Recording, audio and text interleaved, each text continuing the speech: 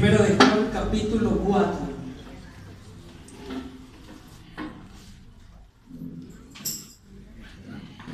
Primero de Juan capítulo 4, en el verso 16.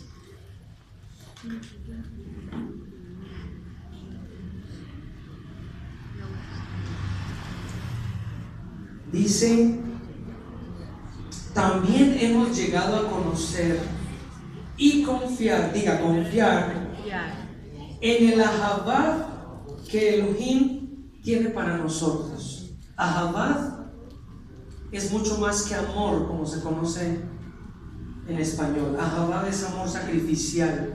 Ahabad es amor que se entrega. Ahabad es como lo dice Corintios, un amor que qué? que todo lo sufre, que todo lo cree, que todo lo espera y que todo lo soporta. Habiendo dicho esto, volvemos a leer el 16. También hemos llegado a conocer y confiar que el Ahabad de Yahweh, de Elohim, el que Él tiene para nosotros. Y dice, Elohim, Yahweh, es Ahabad. Diga, Él es amor. Él es amor. Y todos los que permanecen en este ahabá, en este amor incondicional, permanecen unidos con Yahweh. Y Yahweh permanece unido A con ellos. Así es. Para nosotros es sumamente importante entender lo que es el ahabá de Yahweh. Sobre todo saber que Él es el ahabá, que es el- Él es el amor. Necesitamos tener confianza, como dice su palabra, y seguridad de esto, para poder entender muchas otras cosas de la palabra.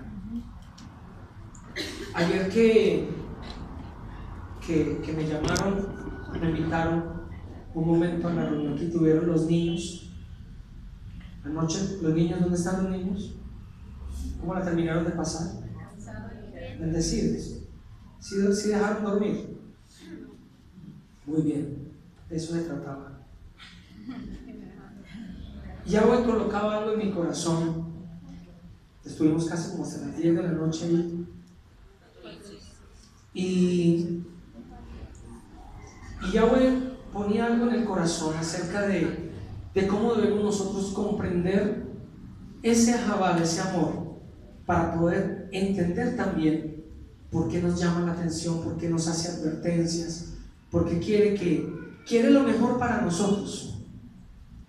Y traíamos el ejemplo de, de cómo se va desarrollando ese sentido de, responsabilidad de uno cuando se convierte en padre o madre con los hijos.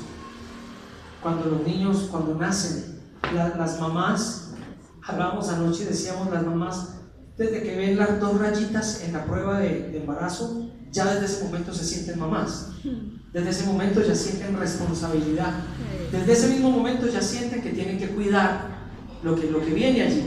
Así sea como el tamaño del ojo de una aguja en ese momento, sienten que tienen que empezar a cuidarse, dejar de fumar, dejar de beber, dejar de comer tanta cosa horrible. Y, y así sucesivamente. Desde ahí, para uno de papá, es un poquito, se demora un poquito más. Para uno sentirse papá. A mí me sucedió, yo oraba y cantábamos canciones muy lindas en la barriga de, de Lilo cuando los niños estaban allí. Pero realmente yo me sentí papá cuando lo tuve en los brazos. Sí, de ella desde mucho antes. Pero cuando yo tuve en los brazos, por ejemplo, a Samuel, que fue el primo, el primogénito, el primogénito. Cuando yo lo tuve en los brazos, yo lo primero que hice fue mirarle y contarle los dedos de las manos.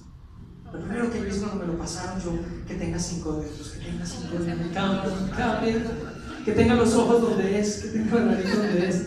Yo tenía como una angustia, un susto de que, de que naciera diferente.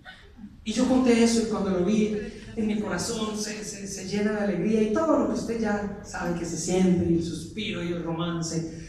Y ahí fue donde yo me sentí papá, donde yo empecé a sentirme papá. Y se empieza a desarrollar ese sentido de responsabilidad, de paternidad. Un, sentido que, que trae una, un temor de que algo les pase a los hijos. ¿Cuántos son papás aquí? Nosotros como papás sabemos que Yahweh cuida de ellos. Sin embargo, a nosotros nos da temor que les pase algo. Uno, uno como papá es capaz de hacer cosas, cosas raras, cosas incomprensibles, porque ellos estén bien. Y, y así Samuel me haga caras, lo voy a contar. Cuando Samuel estaba bebé, tuvo una crisis de gripa. ¿Tenía cuánto hilo más o menos? Necesitos, ¿cierto? No sé, cinco meses tal vez. Y le dio una crisis de gripa de esas mocosas. Cuando los niños todavía no saben respirar por la boca.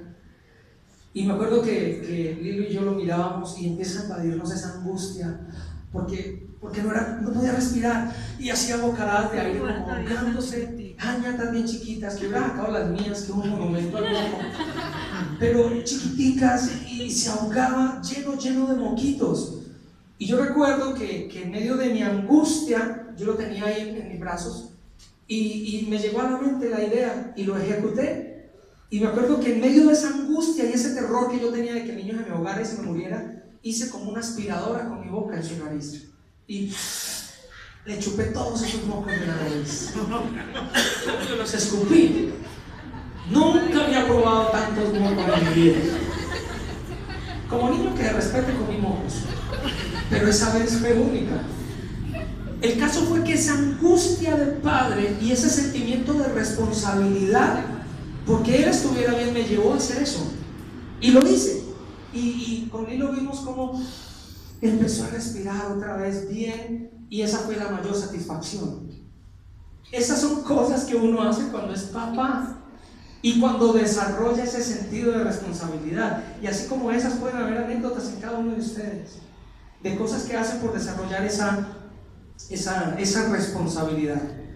Y nosotros como padres podemos preocuparnos por muchas cosas. Y por eso es que nosotros estamos ahí llamando de la atención y diciéndoles, cuando, cuando yo recibo palabra, cuando viene el hermano Antonio, ahora que ha venido el hermano Ricardo, y nos enseñan muchas cosas que, que son supremamente importantes para entender la Torah y para entender nuestras raíces como pueblo de Israel, yo siempre cojo todas esas cosas que aprendo y las trato de aterrizar en mi vida. Y hago lo posible porque no se quede como una clase más, como una clase vista, y aprendí un poquito más. No, yo trato de coger esas cosas y los invito a que hagan el ejercicio de aterrizarlo y de hacer que cobre valor y cobre sentido cuando uno pone lo que aprende en las manos de Yahweh y dice, bueno Yahweh, ¿y ahora qué hago yo con esto que sé? ¿Qué tengo que hacer yo con esto? ¿Cómo voy yo a aplicarlo? ¿Cómo voy yo a hacer que cambie mi vida? Y cuando entro yo en esa meditación, en el poco o mucho tiempo que, que pueda dedicarle, siempre Yahweh viene y me habla. Y esta vez usó esta reunión de los niños para hablarme sobre esto y, me, como que me decían, tiene que tener mucho cuidado con el temor, porque el temor es una de las formas en que se le abre la puerta a Satanás al corazón. Uno puede preocuparse y, uno ve ejemplos de preocuparse. Yo, yo vi tres ejemplos de preocuparse una vez en un predicador y él decía, una forma de un padre preocuparse, por ejemplo, un par de papás que están disputando la custodia de su hijo ante un tribunal porque se separaron y el niño es pequeño, tiene tal vez 10 años y, tal vez en la mente del papá o de la mamá está, ¿cómo va el niño a, superar esta situación? ¿Cómo va a golpear de fuerte a este niño que está ahí en medio de un tribunal cuando ayer todo era amor en su casa, cuando ayer todo estaba bien en la casa? Hoy una persona que ni conocen, un juez, es el que va a deliberar de forma neutral quién se queda con el niño. Hay una preocupación ahí por lo que pueda pasar con ese niño. Otro segundo tipo de preocupación es, por ejemplo, el papá que, que, está con su hijo jugando y de repente ve que se desploma en el piso. Lo carga, se lo lleva para la clínica y se da cuenta que le dio un ataque al corazón. Y solo hasta ese momento y ese día se dio cuenta que el niño sufría del corazón, tenía un problema coronario, se le tapó, tuvo una intermitencia eléctrica y, cayó desvanecido y ahora está sentado al lado de la camilla de su hijo. Su hijo está inconsciente en cuidados intensivos y está preocupado por lo que puede pasar por su hijo. Pero hay un tercer tipo de preocupación. Y es, por ejemplo, escuchar a un papá o una mamá que dice, eh, mi hijo, mi hija, sobre todo se ven hijas más que todo, mi hija adolescente de 12, 13, 14 años eh, perdió la cabeza y se enamoró de un mundano y se fue de la casa. Se voló de la casa con ese, con ese sinvergüenza. Y en este momento es la hora que no tengo ni idea dónde está mi hija. Esa es una preocupación muy diferente, porque si bien la, señora, la primera escena, está preocupada, pero sabe que su hijo está ahí frente al tribunal, el, otro señor está muy angustiado, su hijo se debate entre la vida y la muerte, pero está ahí al lado de él en la camilla. Pero esta mamá no, no tiene ni idea dónde está su hija, no sé qué le pudo haber pasado, la pudieron haber violado, está muerta, no sé lo que pasó. Simplemente se fue y no la puedo encontrar más. Y mire cómo son preocupaciones que uno al conocerlas o al, ver esos espejos, uno empieza como a decir, Padre, yo quiero que mis hijos, que no han vivido cosas como estas, sean guardados de estas cosas. Y esa preocupación lo lleva a uno a buscar más de Yahweh y a decir, Padre Yahweh, guárdalos de enfermedades, guárdalos, Padre, de la gloria de, de que se destruya el hogar, guárdalos, Padre, de la gloria de que la rebeldía llegue a su corazón y se quiera ir de la casa. Y sabemos que el tema de la adolescencia es muy complicado. ¿sí? Anoche hablábamos de eso con los muchachos y, y, les decíamos, es muy diferente decirle a un niño de 10 años, eh, haga esto, lo otro, o arregle su cuarto, y un niño de esa edad más fácil dice, ah, bueno, señor, bueno, señora. Pero de 12 años para arriba de la adolescencia, haga esto, y, y así le contestan a uno. No, no, Uno le da ganas de decir, como que le desee que Yahweh le haga el doble de lo que usted le está deseando. No él entiende, pero por siglas. Sí, porque, porque es una edad muy difícil, donde ya no es de la misma forma que hay que corregirlos, donde uno ya tiene que convertirse es en un amigo, en un consejero, porque el temor puede llevarnos a los dos extremos. O si bien nos, nos, pone como que la casa se convierte en una penitenciaría y ya no quiere uno que salgan, ni que hablen, ni que, ni que hagan nada, o bien hay uno que susto que, que, que, se vuelva peor y dejémoslo que haga lo que quiera y que salga todo lo que quiera. Y se puede caer en esos dos extremos que son muy horribles.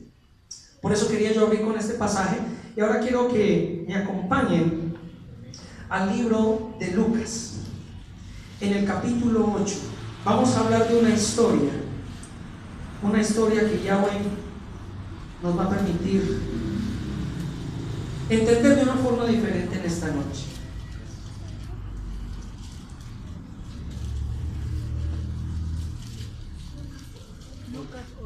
Capítulo de Lucas 8. Allí hay una historia muy especial de un padre angustiado. Y si bien recordemos que Yeshua no ignoraba nunca a un padre angustiado que clamaba por uno de sus hijos. Conocemos a, la mujer que, descendió y que le dijo que mi hijo está enfermo y, él simplemente paraba, se detenía del camino y iba y sanaba a ese muchacho. Eh, el otro señor también que ni siquiera creía y le dice mi hijo es atormentado por demonios, un demonio hace que se enmudezca y, y, y Yeshua sencillamente se detenía para donde iba y sanaba. Él no podía evitar ayudar a un padre desesperado. ¿Y por qué pasa eso? Porque tenemos que recordar que los hijos nuestros no son nuestros. Los hijos son prestados. Dice su palabra en el Salmo 127 que los hijos son la herencia de Yahweh. Así es. Son de Yahweh. Y el hijo puede estar en donde esté y haciendo lo que sea y sigue siendo hijo de Yahweh. Esos hijos son prestados. Por eso Yahweh, por eso Yeshua en su momento reconocía esa condición de papá. Y no, era posible eh, evitar esto y decir, vamos a sanarlo, vamos y que sea sanado. Y ahora vamos a ver un poco sobre la historia en Lucas 8. Lucas capítulo 8 en el verso 41.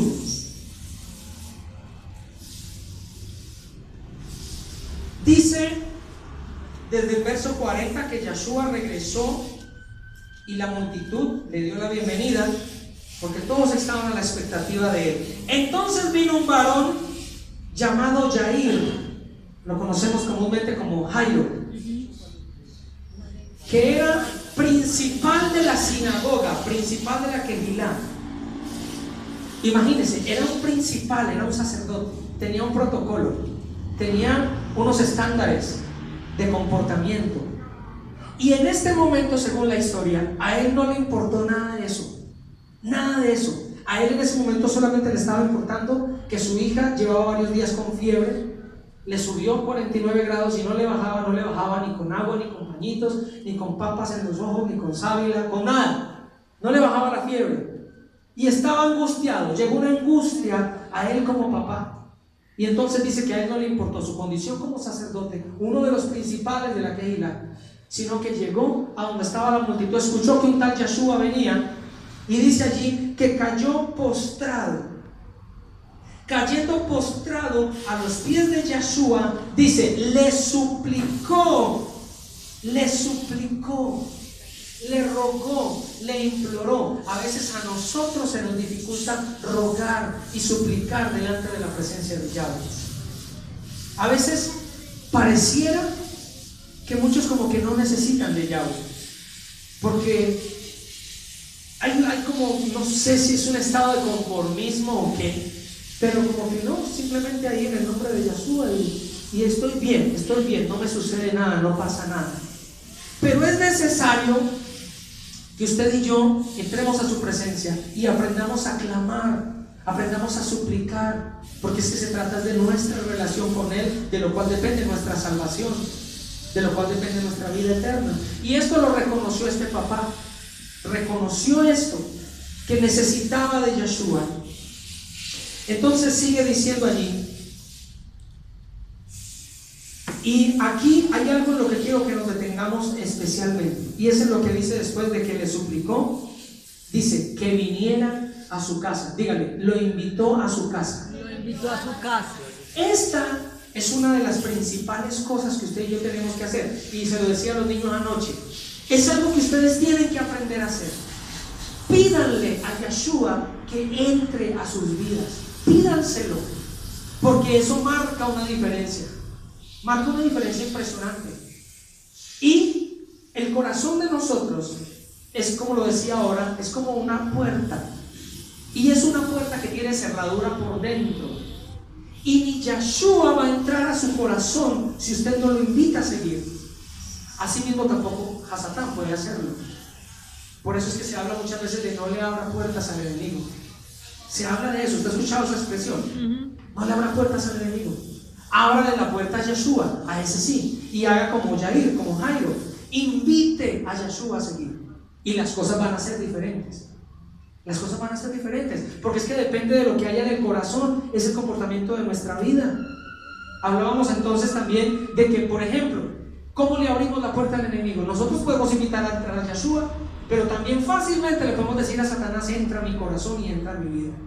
Y hay muchas formas en las que esto se manifiesta. Y, por ejemplo, sabemos que hay programas de televisión cargados de demonios. Y entonces ahí es cuando entra en escena el papá, el papá fastidioso. No me vea ese programa, no me mire eso, prohibido ese programa en esta casa. Y de la forma como se quiera decir. Y lo que dicen los adolescentes es, ay, tan fastidioso, tan cansón, eso que tiene de malo. Pero resulta que es que cuando hay una relación con el Raja con el espíritu de Yahweh, uno alcanza a percibir que hay algo raro ahí. Hay algo raro en ese programa, hay algo raro en esa amistad, hay algo raro en eso que está sucediendo. Y no me da chalón, no me da paz, no me da tranquilidad. Y cuando se le dice a los hijos eso, es por algo, es porque algo está pasando. Y cuando usted entonces se sienta a ver, eh, poníamos el ejemplo, por ejemplo, de la saga de Harry Potter. Y ay, no, tan chévere Harry Potter y los efectos especiales. Claro, los niños y las personas que se sientan a ver la saga de Harry Potter, lo que están aprendiendo y de lo que están llenando su corazón es de brujería, hechicería, encantamientos, maldiciones. Todo eso está llegando al corazón. Y entonces luego se asustan porque por la noche escuchan pasos afuera y dicen, hay un demonio. Y no es el demonio, es el papá que va para el baño. Tiene aliento de demonio, pero no es un demonio. Es, es el papá. Claro, porque lo último que hizo antes de acostarse fue llenar su corazón y su vida de todas esas influencias satánicas. Miren la forma tan fácil, es que no es necesario que usted diga Satanás entra el corazón. Usted y yo podemos abrirle la puerta de formas y de diferentes formas. Y traslademos eso de los adolescentes al colegio, por ejemplo. Cuando los compañeritos que no tienen temor de llave alguno, les invitan a hacer cosas. Les invitan a hacer prácticas deshonestas. Les, les invitan a hacer actos de rebeldía. Volémonos del salón. Eso es ahí Satanás tocando al corazón. Y luego se van y llegan las consecuencias, los regaños, las pelas, las malas notas, lo que sea. Son consecuencias de la desobediencia. Ustedes yo sabemos que la desobediencia trae consecuencias. Pero lo que se está haciendo en ese momento es abrirle el corazón al enemigo. Y eso nosotros como papás es lo que tenemos. Y es ahí cuando nos llenamos de temor nosotros. Y es por eso que les decimos a los niños, no vean eso. Se lo aconsejo, no lo vean. Está bien, lo obligo a que no lo vean. Porque usted está en mi casa y usted tiene que hacer lo que yo le diga. De la forma como usted crea que sea necesario. Pero los niños, los adolescentes, los jóvenes, lo que tienen que entender es que es porque hay un temor de que su corazón se llene de basura. Y luego usted no pueda escuchar la voz de Yahweh. Luego cuando usted se encuentre o cuando usted y yo estemos en una situación de angustia, queremos clamar al Padre y que dice Él en su palabra, no los oí, no los escuché, porque su corazón está contaminado y lleno y lejos, lejos de mi presencia. Ese es el temor de nosotros. Y todavía estoy hablando a nivel de relación padres e hijos en esta tierra. Dice ahí entonces, ¿en qué verso íbamos? 42. Verso 42. Entonces invita a Yeshua a seguir. Esta es una de las características principales que tenemos usted y yo. Y es decirle, por favor, entra a mi corazón. Usted y yo decidimos si le abrimos o le cerramos la puerta. Por eso allá en el libro de, de revelaciones dice, aquí yo estoy a la puerta y llamo. Si alguno oye mi voz, ¿y qué más dice? Y abre la puerta. Y abre la puerta. Yo entraré. De lo contrario, yo no entraré. Porque es que Yeshua es un caballero completo. Yeshua no lo va a obligar. Eso no es a la antigua. ¿Se acuerda cómo era antiguamente? Recibe a Yeshua. Entonces recibe a Jesús. Y era como, así, de obligado. Así. Y la mano en la cabeza. Ay, eso sí que era. Y las sacudidas. Y empujado de para atrás. Y se un hermano atrás así para que cayera. Era como, como así, como a la fuerza. Recibe. Que recibe. Y eso como que se ponían bravos porque como que no había, no había una manifestación de que lo, lo había recibido. Y quería ser obligado. Así no funciona. Así es. Mire cómo de tantos errores nos saca Yahweh. Así es. No funciona así. No funciona así. Eso no es impuesto. Él dice, si me abres, yo entro. Así de lo es. contrario, aquí estaré. Así es. Y seguiré tocando hasta que llegue el momento donde ya esto se acabe. Pero la clave es que usted y yo toquemos, perdón, la clave es que usted y yo abramos esa puerta. Dice en el verso 42, porque tenía una hija que, Única. una hija única, de unos 12 años más o menos, adolescencia, adolescencia, y se estaba muriendo. Mientras él iba, la multitud le apretujaba ahogándole. Mire que hasta ahí, en- esta es la primera parte de la historia de Jairo, de Jair. Y ya luego cuenta cómo iba de camino y entonces una mujer llega y el borde de su manto y es sanada del flujo. O sea, empieza como a partirse la historia ahí. Dice entonces en el verso 49, todavía Yeshua estaba hablando cuando un varón, mire lo que sucede aquí tan especial. Ya Jair había hablado con Yeshua, ya lo había invitado a venir y ya Yeshua le había dicho camine, vamos entonces. Y entonces empezó a pasar otra cantidad de cosas ahí en el camino. Y cuando estaban de camino, dice que llegó uno de los de la casa de Jair a decirle: Vea, ya no moleste más a Yeshua, ya la niña le murió. O sea, lo que le estaba diciendo no era, eh, la llevaron para la clínica de urgencias. Lo que le estaba diciendo no era, eh, entró en coma siquiera. Le estaba diciendo era, se murió, ya, se murió. O sea, para un papá que le digan ya, se murió, en esta época usted y yo, ¿qué haríamos? No, pues ya, a llorar. A llorar y ya no hay nada más que hacer. Porque me acaban de decir que Murió. se murió. O sea, para nosotros esa palabra es fin de la historia. Empaquemos y vámonos. Pero para Yeshua no. Dice ahí que cuando llega este hombre, todavía Yeshua estaba hablando cuando un varón vino de la casa principal de la Kehilá, de donde viene Jair, diciendo, tu hija ha muerto, no molestes más al rabí. Niños, jóvenes y hermanos, siempre hay dos voces. Hay dos voces que se van a oír siempre. Una, que es la del Padre diciendo no tengas temor, confía, ábreme la puerta. Y siempre va a estar también la otra voz diciendo, ya no hay nada que hacer, muérete, ya no hay nada que hacer, ni vayas por allá, ya no hay nada que hacer, no levante las manos, ya no hay nada que hacer para que canta. Siempre van a haber dos voces. Y esto no se trata de una pelea de Yahweh contra Satanás. Usted y yo tenemos muy claro, mi hermano, que Yahshua venció a Satanás en el es. Él ya lo venció. ¿Cuántos lo creen? Así es. Él ya lo venció. Aquí no se trata entonces de que cuando me va mal, uy, va ganando Satanás. Cuando me va bien, va ganando Yahweh. Olvídese, Yahweh ya lo venció. Yahshua lo venció en el madero. Así es. Y Él nos sube al podio de campeones. Y nos pone el cinturón de campeones. Y entonces estamos, estamos como a otro nivel. Yahshua nos pone en el podio. Porque Él ya venció a Satanás. Y, no- y tenemos esta figura de campeón. Pero usted y yo tenemos que recordar también que desde el principio fue dicho que Hasatán y la condenación que le dijo cuando se incorporó literalmente en la serpiente, le dijo, maldita serás y te arrastrarás. Te arrastrarás por haber hecho lo que hiciste, por haber engañado. Y la condenó a estar en un nivel por debajo de nosotros. Usted y yo, mi hermano, estamos a un nivel más alto que Hasatán. Porque ya Yahshua nos dio la victoria. ¿Cuántos lo creen? Así es. Usted y yo ya tenemos la, la victoria, usted y yo ya somos campeones. Y Él nos pone en este lugar. Y Satanás anda como león rugiente buscando a quien devorar.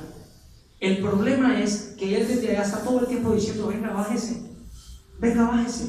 Y cuando le abrimos el corazón a todas esas cosas que contaminan, lo que estamos haciendo es bajarnos del podio y ponernos al nivel de Satanás. Y es ahí entonces cuando vienen las crisis, vienen las consecuencias y viene todo lo malo. Usted y yo no podemos bajarnos de ese nivel. Porque cuando nos bajamos de ese nivel es cuando escuchamos las voces y le hacemos caso a la voz que